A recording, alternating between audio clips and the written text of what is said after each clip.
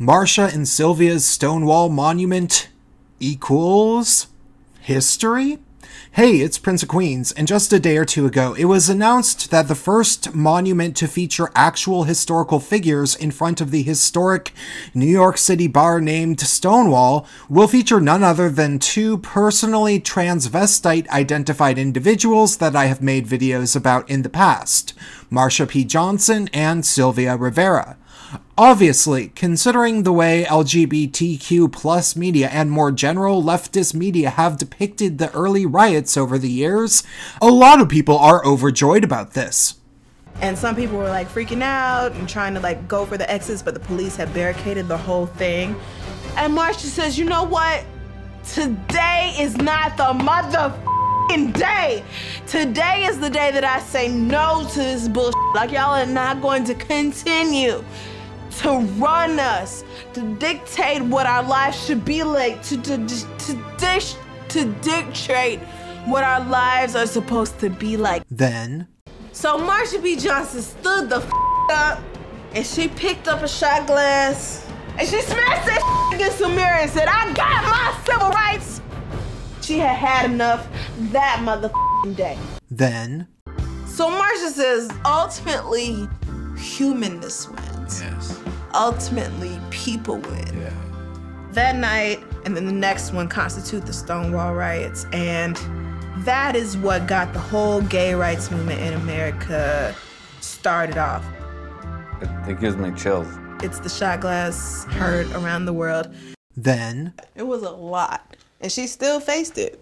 But truly, black people deserve to be on all this. Mm-hmm. Black people in Sacagawea who needs to get off the goddamn coin and onto some paper money. because it's our Yeah. bow down. As you probably figured out, that clip came from Comedy Central's Drunk History, which is a comedy series. But of course, we're expected to believe that all of the information within it is entirely accurate. Problem is, it isn't, and I'll prove it in a moment, which is likely why the white male interviewer used a drunk black woman so that she would be held accountable for the narrative his show was pushing, maybe in case anybody ever called BS on it. I mean, seriously, does this look like a man that doesn't know he's up to something? He sure doesn't seem drunk. Black. Right. But add in a queer identity and then a, a queer gender identity too, it was a lot. It was a lot. And she still faced it. But, oh God. And the tr- Regardless, this narrative has been super popular ever since white gay men began being actively persecuted within the intersectional feminist dominated LGBTQ and greater cultural leftist demographic, starting around 2014.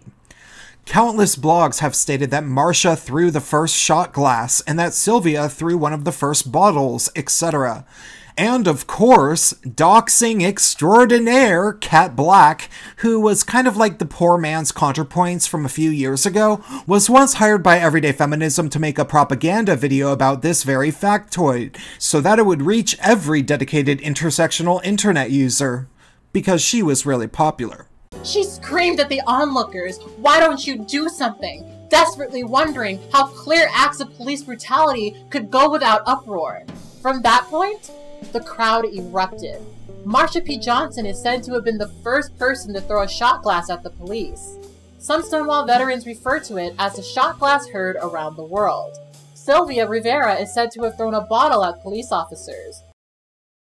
Actually, Kat, Sylvia herself said that she didn't just throw a bottle, but actually it was a Molotov cocktail. However, unfortunately for Kat, Comedy Central, and the other millions of people that swallowed that tale at face value, myself once included, the narrative that one unruly, angry black woman known as Marsha P. Johnson incited the Stonewall riot is entirely either an accident in some author's memory or probably, in many cases, an anti male and anti white fabrication. Here's what Marsha had to say. Marsha's the only one. She she's the only one. Everyone agrees was at the Stonewall riots. There were a lot of other people, but everyone agrees that Marsha was there. So The way I, I winded up being at Stonewall that night, I was having a party uptown, and we were all out there. And Miss Sylvia and Rivera and them were over in the park having a cocktail. I, was uptown, and I didn't get downtown until about 2 o'clock, because when I got downtown, the place was already on fire, and it was a raid already. The riots had already started, and they said the police went in there and set the place on fire. Not only did Marsha claim that she had to actively find Sylvia after she learned about the riot taking place, but according to this historian, Yes, I'm afraid that I could only conclude that Sylvia's account of her being there on the first night was a fabrication. Randy Wicker told me that Marsha P. Johnson, his roommate, told him that Sylvia was not at the Stonewall Inn at the outbreak of the riots as she had fallen asleep in Bryant Park after taking heroin. Marsha had gone up to Bryant Park, found her asleep, and woke her up to tell her about the riots. Playwright and early gay activist Doric Wilson also independently told me that Marsha Johnson had told him that Sylvia was not at the Stonewall riots. Sylvia also showed a real inconsistency in her accounts of the Stonewall riots. In one account, she claimed that the night the riots broke out was the first time that she had ever been at the Stonewall Inn. In another account, she said that she had been there many times. In one account, she said that she was there in drag, and in another account, she says that she was not in drag. She told Martin Duberman that she went to the Stonewall Inn the night the riots began to celebrate Marsha Johnson's birthday, but Marsha was born in August, not June. I also did not find one credible witness who saw her there on the first night. And so, clearly, there's nothing true about the narrative that trans women of color kicked off and led the Stonewall movement at all whatsoever.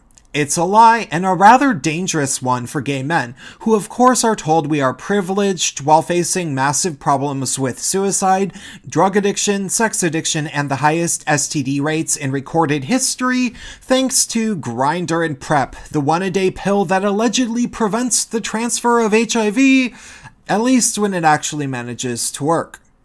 Another interesting thing that I've noticed when going through all of the reporting about the monument is that I have yet to find a single outlet outright repeating this blatant myth.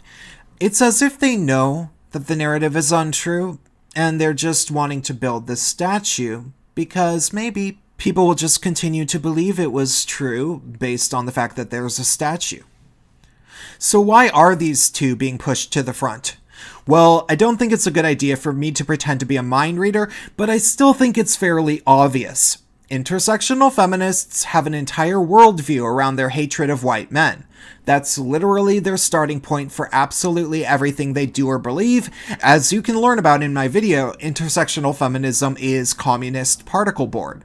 For most of the last 50 years, the gay civil rights movement has been depicted as primarily being powered by gay men, and more specifically, white gay men for the most part.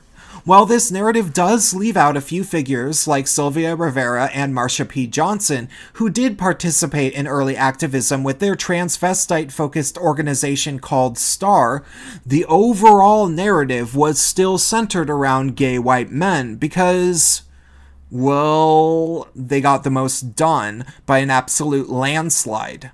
For example, the Mattachine Society, founded in 1950, is written in history as the first gay rights organization and was the brainchild of Harry Hay of the Radical Faeries fame, a white male. Every founding member were also white males.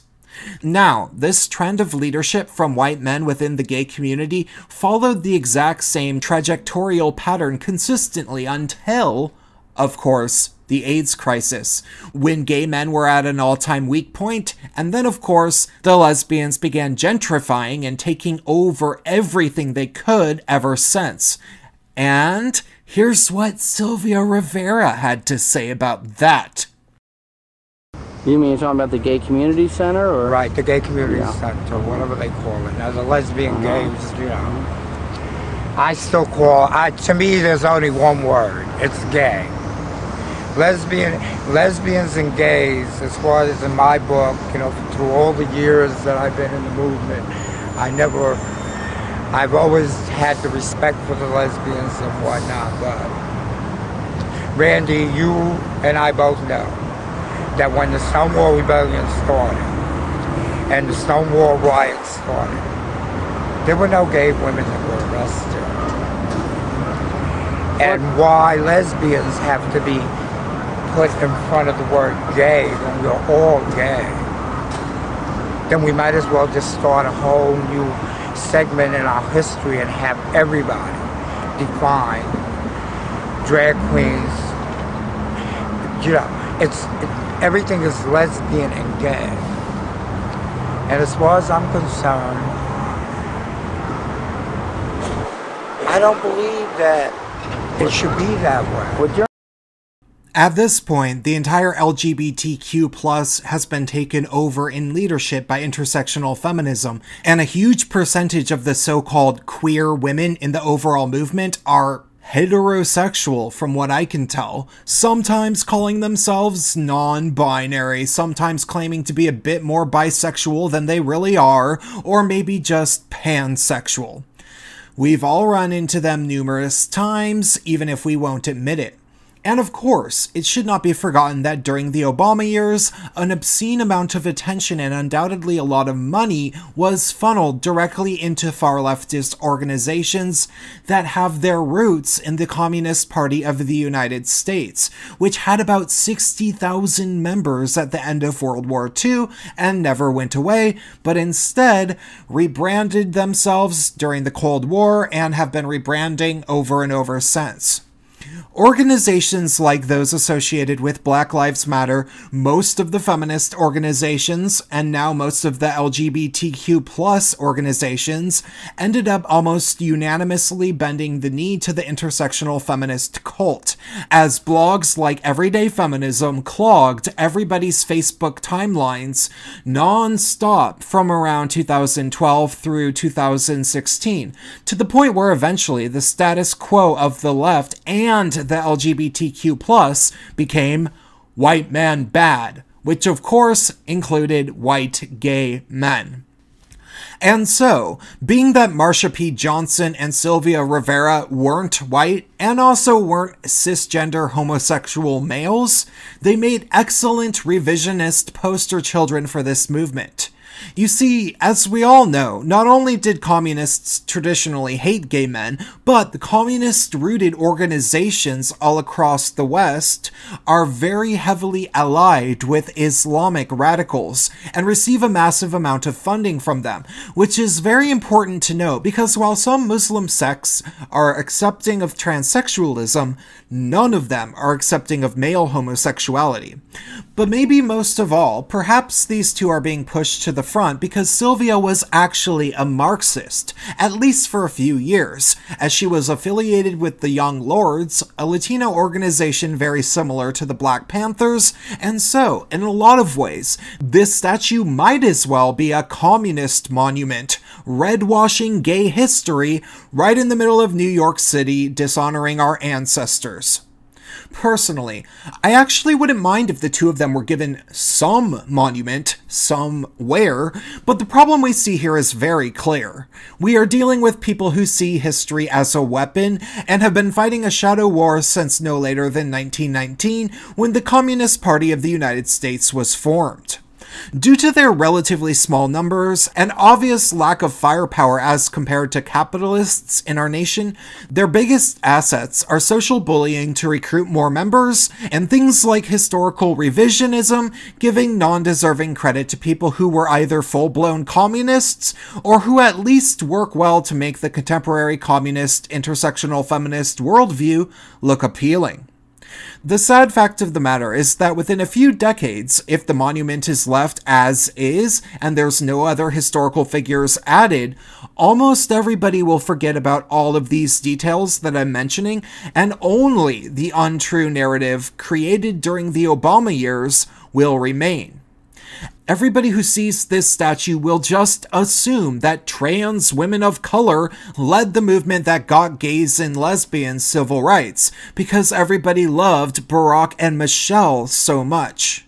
I mean, Sylvia and Marsha.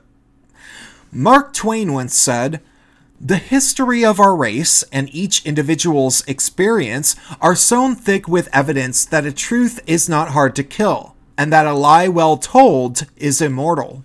Personally, I have to actually agree with him, as people are generally a lot more eager and dedicated to spreading misinformation and revisionism than they are to telling the truth. And so, if history is being used as a weapon, I say we start attempting to fight back by reasserting the truth and try to make it at least a small part of what we remember about our own community. I don't know. Maybe you could add a few more important people to the monument even if they are white gay males. That's all I have to say for this video. If you enjoyed it, please consider donating to me on PayPal or Subscribestar, and follow me on Minds and BitChute. Thanks a bunch.